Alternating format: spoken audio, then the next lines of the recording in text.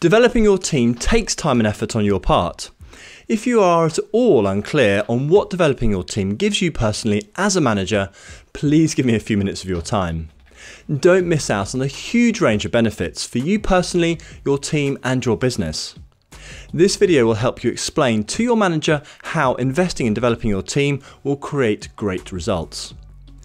Be the manager that has been promoted way ahead of your current peers, not the manager kicking yourself in years to come, wondering why you got left behind. And there are, of course, many factors in getting promotion.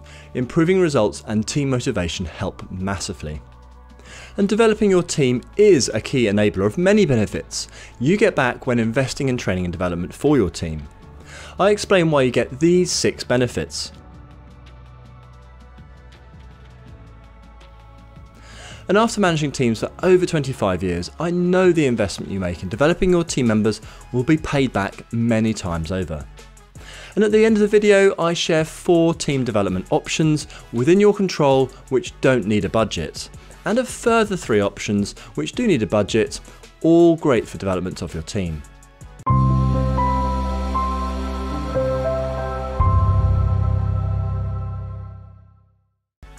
My name is Jess Coles and I create courses to accelerate the learning of management skills and I also coach business leaders. I've included links to additional videos and resources in the description below, as well as the video timestamps, so do take a look at these. And if you like this video, please give it a thumbs up and subscribe. So the first benefit you get from developing your team is improved team dynamics. I mean, personally, putting in the time and effort too. You know, firstly, understand what your team members want to achieve in their career. And then secondly, organising and involving them in tasks, activities and projects which will help them develop towards their career goals.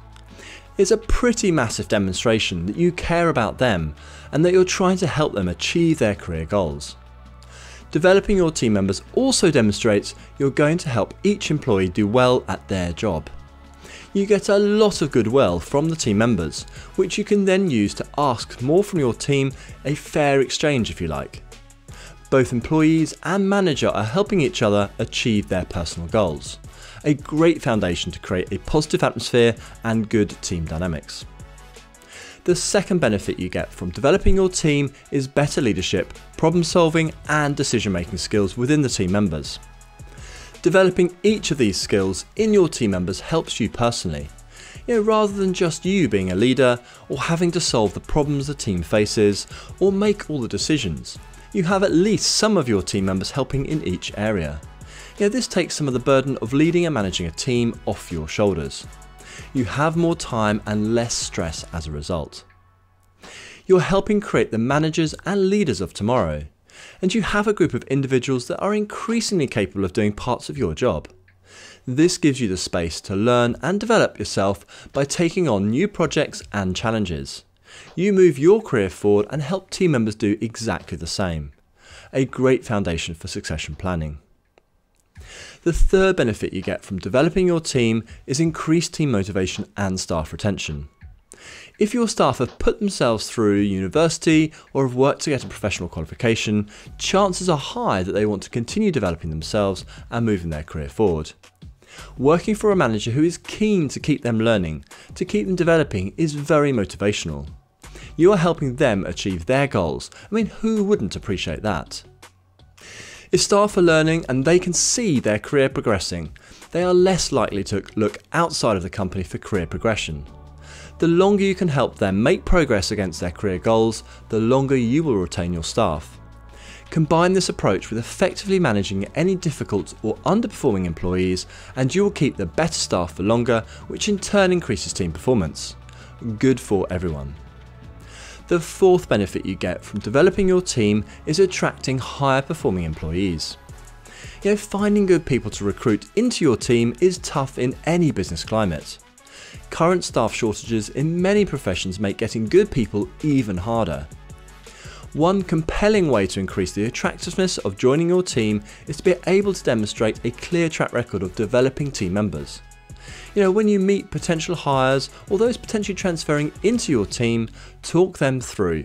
Firstly, the steps you take to understand personal career goals, and then the work to help individuals progress against these goals. Secondly, the training programs, internal and external, that your team members are able to take advantage of. And thirdly, the case studies, if you like, of internal promotions and career progression of current and former team members. Use the investment in training and development as a way to attract higher performing employees. From personal experience, showcasing development track records for team members works very well. The fifth benefit you get from developing your team is increased volume and quality of output. You know, think about it. When we're unsure about how to do something, it takes longer. If we're not confident in making decisions, it takes longer. And if we don't have good enough skills, the quality of what we produce is likely to be lower rather than higher. What you get from developing your team is a higher level of skills, you know, both technical skills as well as softer skills such as decision making and problem solving. With better skills, the tasks, activities, projects, and problems the team members are working on will be completed quicker and better. And this means that the team overall will be firstly able to produce more as they'll be able to do each task quicker and better. Secondly, the quality of output will improve, and third, the range of problems a team can solve will increase, making your team more valuable to the company. And the more value the team can add to the company, the more valuable your ability to improve team performance. And this in turn means that you are much more likely to be given additional team members to manage. Good news for all involved. The sixth benefit you get from developing your team is you are more likely to get promoted. You know, all of the previous five reasons we have gone through help, firstly, increase the motivation of the team, which leads to more and better work and value creation. Secondly, it increases the volume and quality of the team output. The more value a team can produce for the company, the more valuable the team is, and the manager who created the improvements. And third, it reduces the cost of recruitment and training as you will keep your team for longer and they will be happier to stay. And in my experience, all these reasons produce a huge return on investment from developing your team. The company is a lot better off.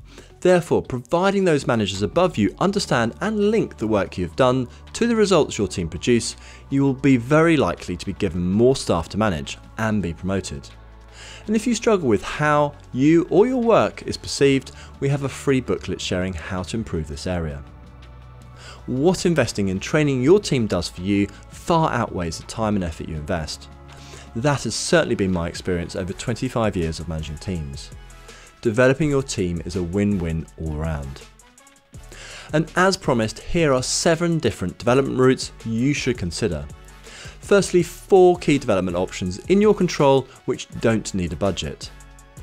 The first one is to use weekly one-on-one meetings with your direct reports to coach, mentor and train team members. You'll have a lot of skills that you can help pass on and you don't need a budget to develop team members. Secondly, create on-the-job learning opportunities. You know, mix up the tasks, activities, projects and problems assigned to team members and provide support to cross-train and help them learn new skills. Third, set up peer-to-peer -peer learning or buddy systems get team members to share their experience and skills with each other. And fourth, ask team members to provide mini training sessions to the rest of the team to share their skills and experience. And on top of that, we've got three additional common development routes which will need varying levels of budget. And these are so the fifth one is formal external training courses, such as the Management Skills Accelerator program that Enhance Training provides. Also, see what internal courses are available within your business. 6. Mentoring programs, using internal or external managers. These can be great to pass on knowledge and expertise. Perfect to bring in new skills into the business without hiring those skills in. And then seventh, coaching programs, which can be delivered by internal or external coaches. Do choose coaches that have been formally trained and have good coaching experience. Coaching is a specific set of skills.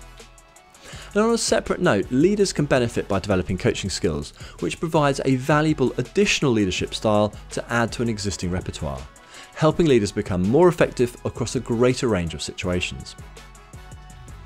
So in summary, what investing in training your team does for you far outweighs the time and effort you invest. That has certainly been my experience over 25 years of managing teams, so I would 110% recommend that you invest the time to develop your team. The results of your investment won't be seen overnight, but you should start to see signs within weeks and certainly be enjoying the benefits of developing your team within months. Personally, in this very competitive workplace, I don't think ambitious managers can afford not to invest time and effort in developing their teams. If you don't, other managers will, which means they are more likely to get ahead of you. As a quick recap, the six reasons to develop your team are firstly, it improves team dynamics. Secondly, it builds leadership, problem solving, and decision making skills. Thirdly, it increases team motivation and staff retention. Fourth, it helps attract higher performing employees. Fifth, it increases the volume and the quality of output. And then sixth, it helps you, the manager, get promoted. And if you've got any questions on the six benefits you get from developing your team, please leave them in the comment section below and I will get back to you. Thanks very much for watching and I look forward to speaking to you again soon.